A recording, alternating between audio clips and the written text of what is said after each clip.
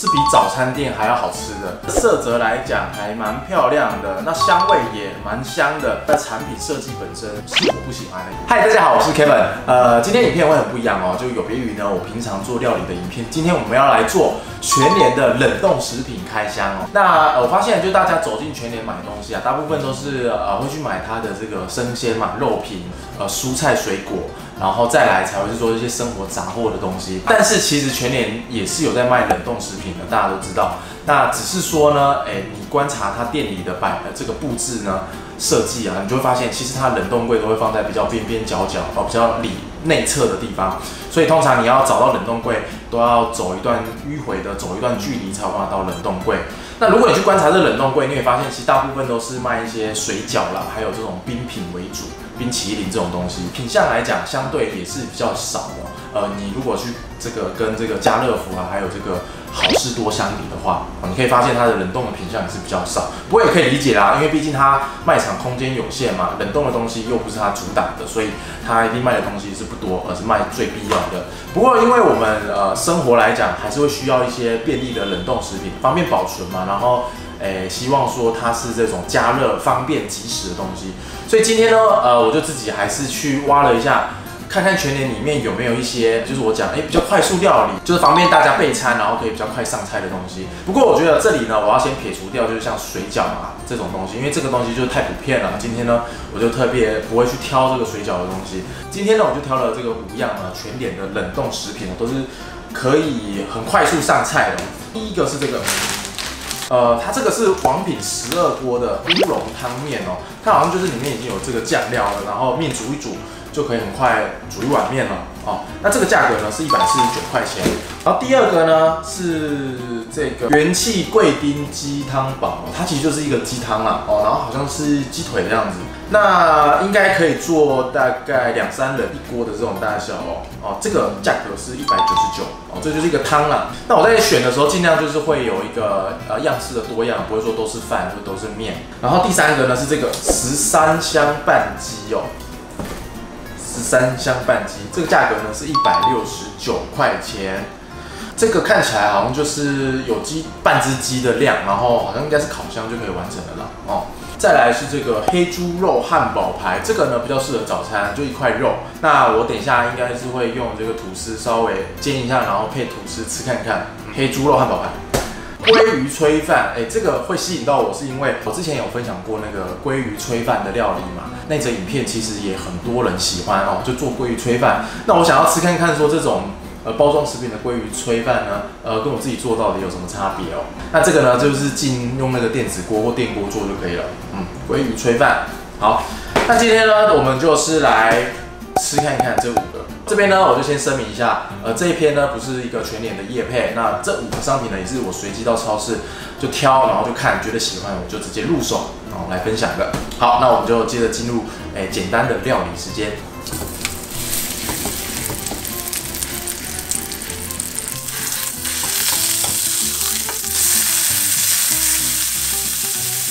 可以用一点这个生菜，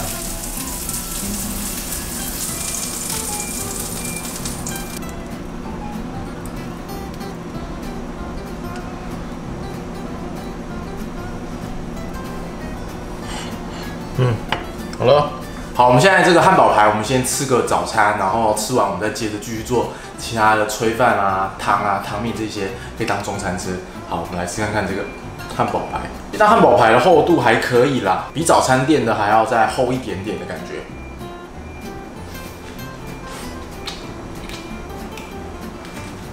黑猪肉汉堡排还还 OK。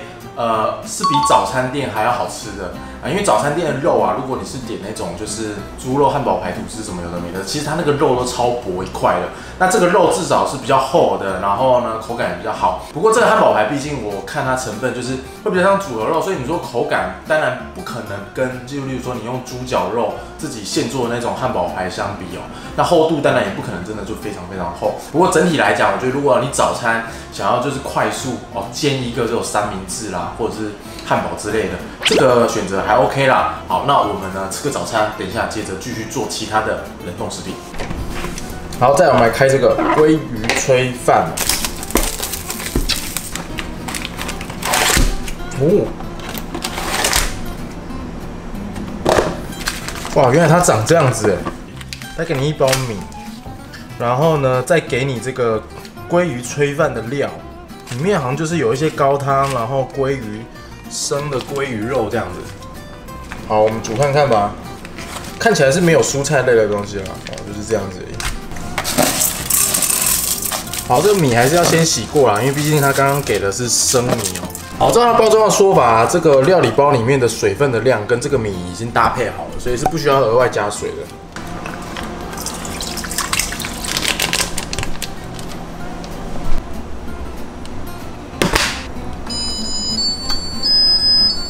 再来呢是这个烤鸡。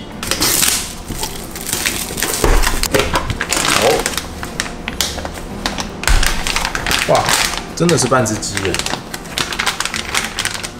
这个真的是半只鸡，不过呢，它没有给你剁哦，它真的就是一只鸡给你切半这样子。好，我们上烤盘。它这个就是腌制过的，生腌的，但是它没有熟哦，就是真的要完全把它烤熟才可以吃的。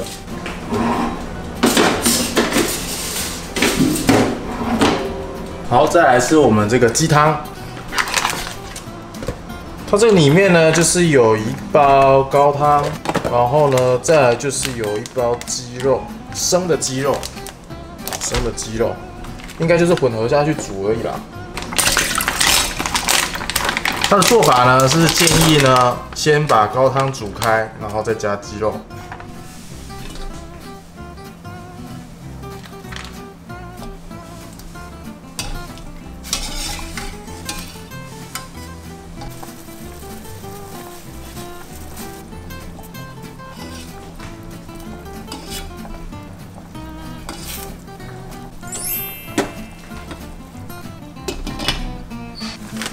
最后一个是这个十二锅的乌龙汤面，我们来看一下。哦，它有这个酱包啦，它里面就是三包面，三包冷冻面，然后还有酱包。它这个冷冻面啊，就是不用退冰的，直接煮开就好了，退冰反而会粘住。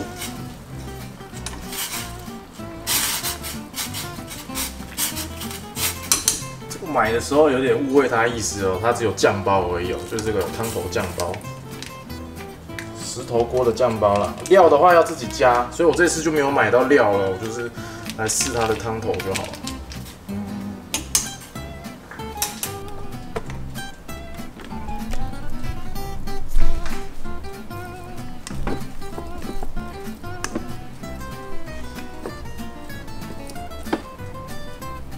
好，这样我们就全部完成了。那刚刚我们已经先吃过这个黑猪肉汉堡排了嘛？那现在我们接着来试吃其他四样。那我们就照顺序哦。第一个就是我们的鲑鱼炊饭哦，鲑鱼炊饭好吃看看。嗯，饭的味道还不错，然后也不会说有鱼的腥味。然后它可能它的汤头跟米饭的比例算是有抓好，煮出来的米饭。呃，软硬我觉得是适中的哦，不过就是只有鲑鱼而已哦。其实配料来讲是有一点点单调的。如果说你想要就是这个鲑鱼炊饭再好吃一点，你下去蒸的时候，可能你可以再加一些菇类啊，甚至再用一点点这个黑胡椒去调味。那我相信这个炊饭就会好吃非常多哦。那它整个这个做完它的分量啊，诶，大概是两到三人份啊，其实并不是太多。那家里大概是两大一小，这样应该是差不多哦。这鲑鱼炊饭。还算不错。好，那第二个呢，是我们这个烤鸡哦。那它其实烤出来，我觉得色泽来讲还蛮漂亮的，那香味也蛮香的。不过我觉得它的缺点就是，其实用烤的，不管是气炸还是烤箱都一样，都要蛮久，大概要四十分到五十分钟左右。哦，烤箱的设定。哦，好，那现在呢，我们就来吃看看。好，因为它那个半鸡呢是没有帮你切好，所以你要自己切一下。我们先切一点点鸡胸下来吃看看。我们先吃一点鸡胸，鸡胸如果好吃，鸡腿一定就没什么大问题了。好，哦，这烤鸡好吃。大家看一下我切的这个切面，其实它的这个肉汁，因为整只烤鸡的好处就是说你不容易烤到，就是说没有肉汁，它还是肉汁非常饱满，而且呢肉是有入味的，哦，香味非常够啊，所以。肉又多汁，然后味道够，其实烤鸡就好吃。它唯一的缺点当然就是你要切啦。好，再来呢，我们来试喝这个贵宾鸡汤哦。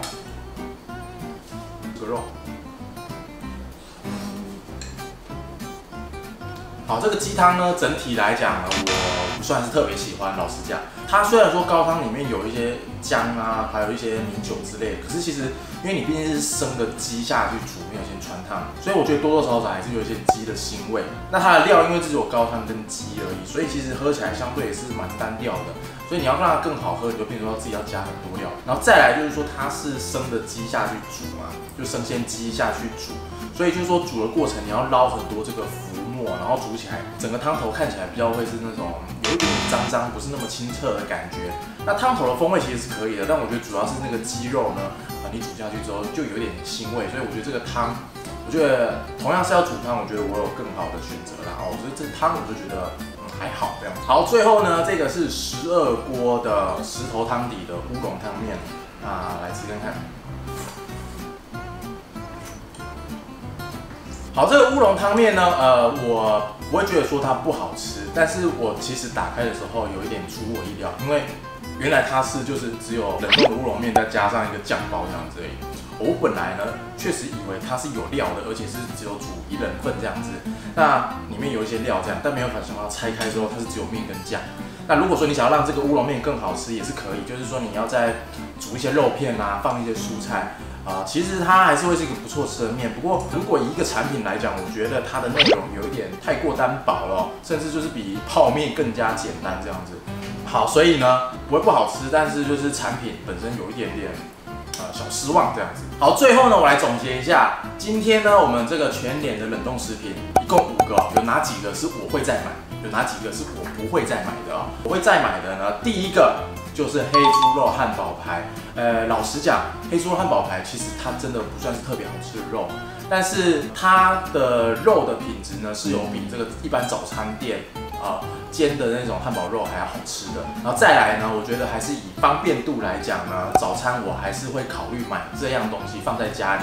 那有时候如果不知道做什么的话，有吐司，我觉得煎这个汉堡排弄个吐司速度是蛮快的，而会比做这个会比这个外面去早餐店买甚至更快。那所以这个黑猪肉汉堡排，我觉得我会买它，主要就是因为方便。那第二个呢，我会再买的呢，就是烤鸡哦，那个十三香烤鸡。